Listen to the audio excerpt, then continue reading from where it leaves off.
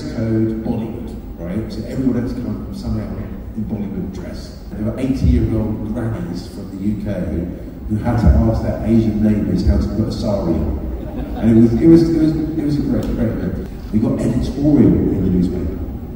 And the editorial said this Church brings races together. Isn't that nice?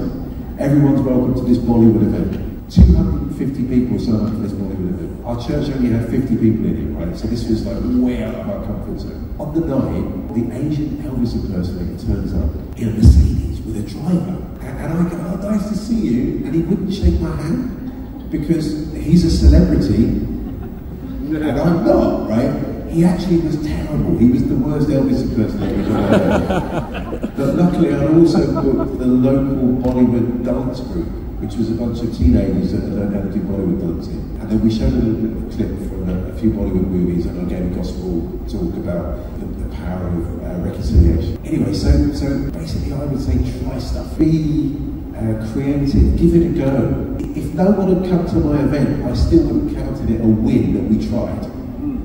Because in the newspaper it said church brings together before the event had taken place, right? So even the advertising was doing something prophetic about the gospel.